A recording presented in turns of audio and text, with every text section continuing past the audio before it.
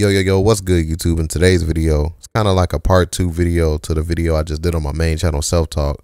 Y'all should go check it out. I'll have that link in the description box for y'all. That being said, man, I just want to get my opinion about what Malika Andrews said right here. word that Chiney used that's just rattling around in my brain accountability. I'm not sure how that gets grasped back for Brooklyn uh, because it, it's not lost on me that Ime Udoka has done incredible things with the Boston Celtics. But it just seems like if we're having this conversation about Ime Udoka being hired by Brooklyn, where he was an assistant coach, accountability is the word I keep coming back to. Where is the accountability to women in the NBA? Zach, what do you make of this? Okay, so she's talking about Ime Udoka. I hate the fact that she put out this false narrative. Accountability. What about the women in the NBA? Um, Malika, last time I checked, that situation happened in Boston. Last time I checked, it was consensual. Last time I checked, that situation got handled. He was held accountable for his actions, was he not? He got suspended. His pay got docked. He got publicly humiliated. So, like, what does she mean about accountability? Like, what more do you want? You don't want this man to have a job? Man have kids, Malika. The fuck you want this man to do? He was held accountable for his actions.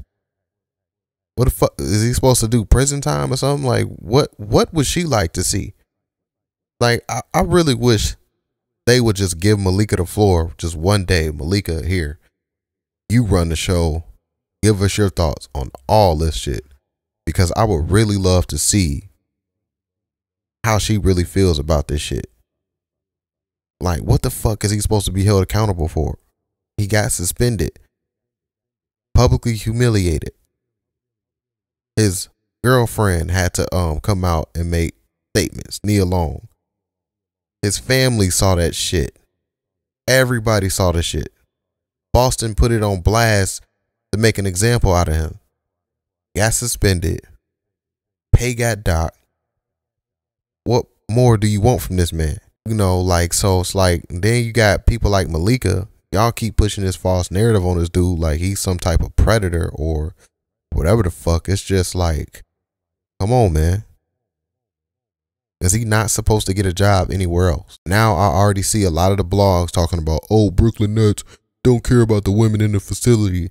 If they didn't care about the women, then why the fuck are they hired then? Why are they hired if they don't care about the women in Brooklyn Nets facility? Those women is not the women he had sexual relationships in Boston. So okay, you mean to tell me now Boston hired a new coach? That mean that you know the other woman, right? Let's let's hold her accountable now. Let's hold her accountable. So that means Boston doesn't care about the males in a facility if they go hire a new male coach. Come on, man. Y'all got to start calling shit down the middle. Call this shit a spade a spade, or just stop and stop letting Malika Andrews on these televised platforms, man, and pushing out these narratives, man. Um, this is sickening, bro. Like, it's it's very just like it's it's nasty. It's gross. That's her little word. Like, this shit is just disgusting, man. Like, I, I just don't get it. I really don't get it. Like, what more do you want out of Ime Udoka? He made a statement already. He apologized. Nia Long made a statement. She um said that they was going to address the issue in house. They seem to still be together or working out their issues. Um, so like it's like they wanted this man to lose everything, bro.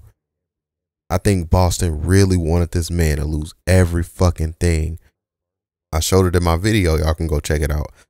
Just said for the most part, you would just hear about the guys being fired and then they can go find a job elsewhere. You know, we never seen somebody in an organization come out and put his business out on Front Street like that. Like it's just unheard of.